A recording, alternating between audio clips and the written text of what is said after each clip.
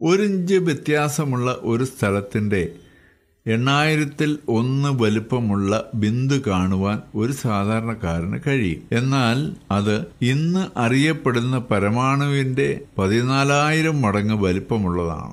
എന്നാൽ ഈ ഇനത്തിൽപ്പെട്ട അണുക്കൾ നിമിത്തം അഞ്ഞൂറ് തരത്തിലുള്ള പകർച്ചവ്യാധികൾ ഉണ്ടാകുന്നു. അതിൽ പലതും വളരെ മാരക ഫലങ്ങൾ ഉളവാക്കുന്നതും മരണകരവുമാണ്. ഇതിൽ ഒന്ന് നിമിത്തമാണ് ആയിരത്തി തൊള്ളായിരത്തി പതിനെട്ട് പത്തൊമ്പതിൽ ഉണ്ടായ ഏറ്റവും വലിയ പകർച്ചവ്യാധി. ഒന്നാം ലോക മഹായുദ്ധത്തിൽ ഉണ്ടായതിലും അധികം മരണം ഈ പകർച്ചവ്യാധി നിമിത്തം ഉണ്ടായി.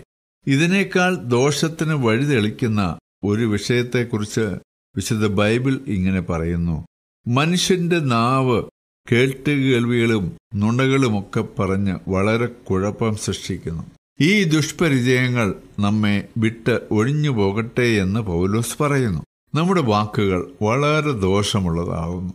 അതിനാൽ നാവിനെ സൂക്ഷിച്ചുകൊള്ളുക നാവ് വളരെ ചെറിയ ഒരു അവയവമെങ്കിലും അതിനെ നിയന്ത്രിക്കാൻ വളരെ പേർക്ക് കഴിയുന്നില്ല. ഏറ്റവും ചെറിയ കാര്യങ്ങൾക്ക് വളരെയധികം ദോഷം ചെയ്യാനാവും എന്ന് മനസ്സിലാക്കുന്ന ചില കാര്യങ്ങളാണ് ഇന്ന് നമ്മളിവിടെ വിശേഷിച്ചത്. എന്നെ കേൾക്കുന്ന പ്രിയ സ്നേഹിത താങ്കളുടെ നാവ് എങ്ങനെയാണ് ഉപയോഗിക്കുന്നത്?